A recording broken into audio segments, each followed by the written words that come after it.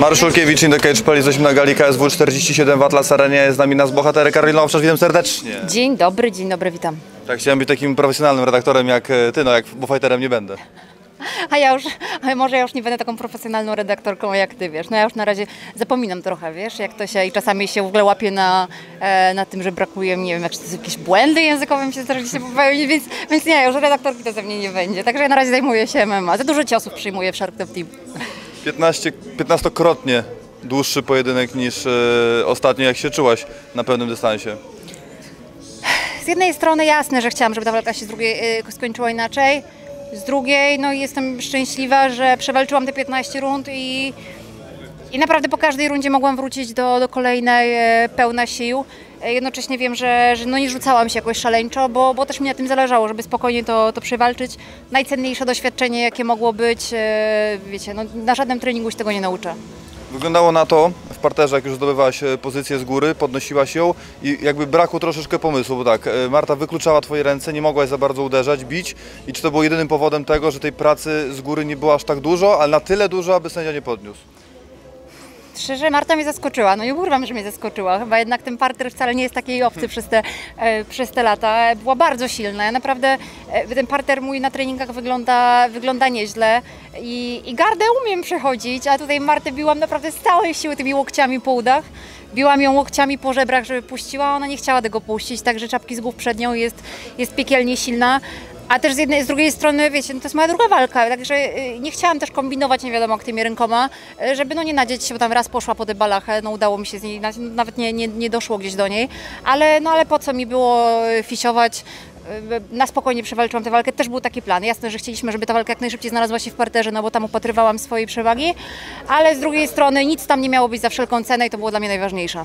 Połowy drugiej rundy e, walka toczyła się w stójce i widać, że tempo siadło. Był nawet taki moment, że zegar pokazał koniec czasu, a wy walczyliście jeszcze 10 sekund. Nie wiem, czy to był błąd e, e, zegara, czy sędziego czasowego, natomiast ewidentnie już nie chciało się sobie robić pod koniec tej drugiej rundy krzywdy, natomiast tempo w trzeciej rundzie wróciło. Ewidentnie i u Ciebie i, i u Marty, więc chciałbym o tą kondycję zapytać, no bo pierwszy raz się mierzyłaś takim dystansem w klatce, a nie na sparingach. No Marta wcześniej przyda walczyła, kiedyś chyba ty policzyłeś 100, ru- 100 rund, 100 sekund w walce, ja tylko 60, więc żadna z nas nie miała pojęcia jak się zachować na tym dystansie, jak to będzie.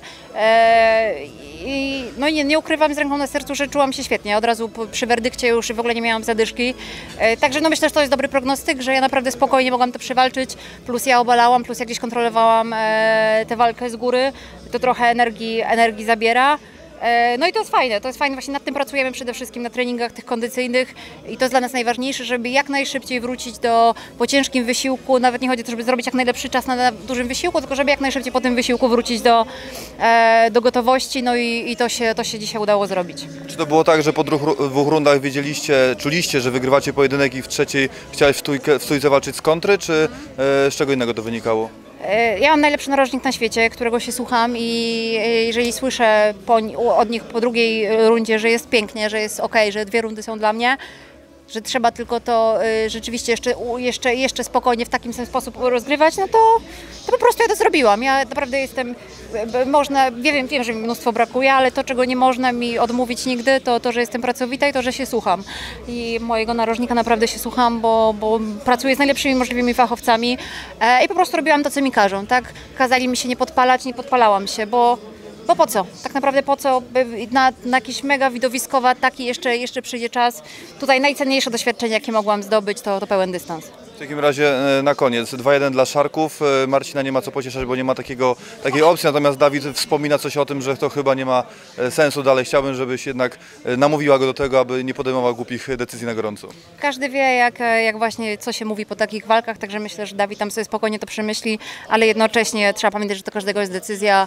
E, Dawid jest naprawdę świetnym fachowcem w tym, co robi poza, poza walkami i myślę, że też jeżeli będzie chciał się w tym rozwijać, no to na pewno wróżę mu dużą przyszłość, ale myślę, że to nie da się tak łatwo ze sceny, ze sceny zejść, także, także będzie dobrze. I na koniec, jeżeli dzwoni Maciek albo Marty mówią Karolina, KSW 48, KSW 49, gdzie wolisz walczyć? E, KSW 49, no bo to już jest tak mało czasu teraz, no to jest, to jest miesiąc chyba, tak, do gali, e, także no, y, czy pięć tygodni. E, No nie, chyba trochę za mało. Jeżeli, jeżeli byłaby tylko taka możliwość, to biorę to w ciemno. E, ale z tego, co tam gdzieś dochodzą mnie słuchy, to e, ta gala ostatnia 49 też ma nie być bardzo późno, tylko ma być trochę wcześniej niż zwykle.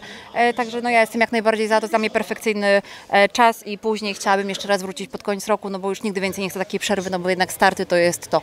Gratulacje, dziękuję wielkie za wywiad. A ja jeszcze muszę się pozdrowienia. Mam takie piękna niespodzianka na mnie czekała w szatni mojego nowego partnera, sponsora, firma Hans Skrzydlewska. Jestem bardzo dumna, bo, bo to jest firma, która robi no, przeogromną robotę dla łódzkiego sportu. No, to, to, to jest firma, bez której łódzki sport naprawdę wyglądałby zupełnie inaczej. No i muszę podziękować jeszcze raz moim trenerom, sponsorom, który, bez, których, bez których by nas tutaj nie było. To jest firma Kasperski, e, to jest firma Aminofarm Octagon, e, Body Chef, który mnie karmi, dzięki któremu mogłam przyjść metamorfozę, o której rozmawialiśmy ostatnio i naprawdę zrobiłam całość na, na cateringu dietetycznym. To nie jest tak, że, że ja gdzieś tam sama się posiłkowałam. Nie, da się to zrobić absolutnie na cateringu dietetycznym, jeżeli ma się taki dobry catering dietetyczny.